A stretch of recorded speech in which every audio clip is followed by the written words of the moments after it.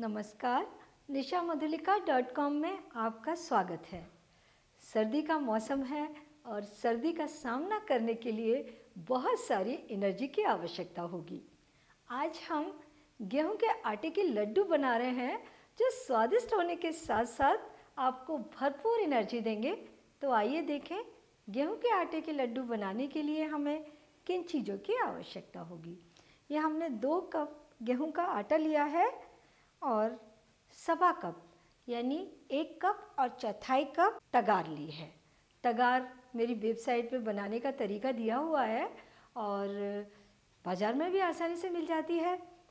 तीन चौथाई कप हमने देसी घी लिया है। आठ दस काजू ले लिए हैं और चार पाँच छोटी इलायची है जिनको कूट करके पाउडर बना लेंगे।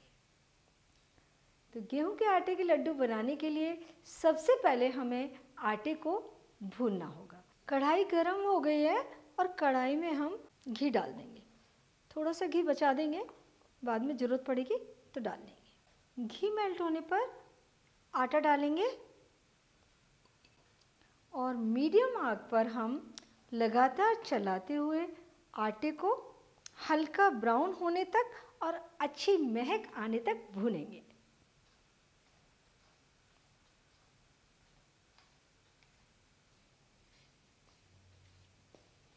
आटे का कलर चेंज हो गया है, हल्का ब्राउन कलर आ रहा है और आटे से बहुत अच्छी महक आ रही है।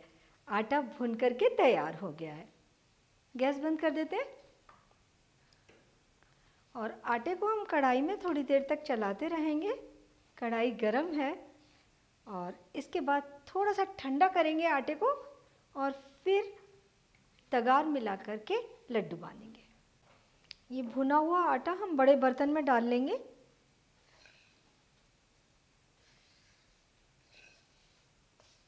और ये हमने काजू काट लिए हैं, वो मिला देते हैं। और इलायची पाउडर भी मिला देते हैं।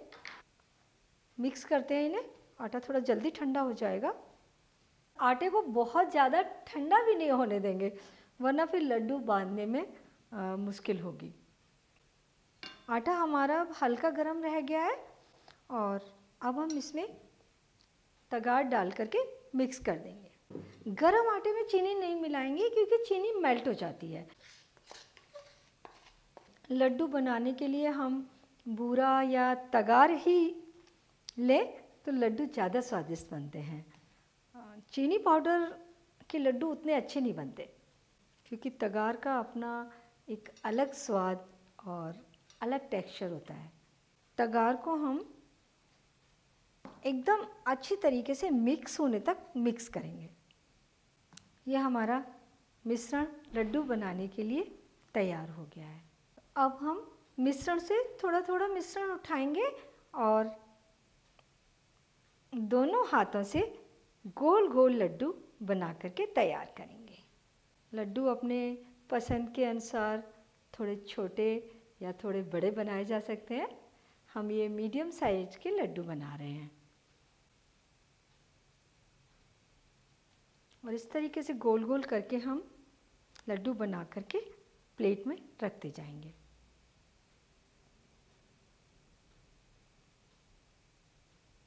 और ये सारे लड्डू हमें इसी तरीके से बना करके तैयार करने हैं। गेहूँ के आटे के लड्डू तैयार हैं, बहुत ही अच्छे लड्डू बने हैं। और ये लड्डू आप एयर टाइट कंटेनर में भर के रख लीजिए और महीने भर तक खाते रहिए। आप गेहूँ के आटे के लड्डू बनाइए, खाइए और अपने अनुभव निशा मधुलिका डॉट कॉम पर शेयर कीजिए। एक बार फिर मिलते हैं निशा मधुलिका डॉट कॉम पर।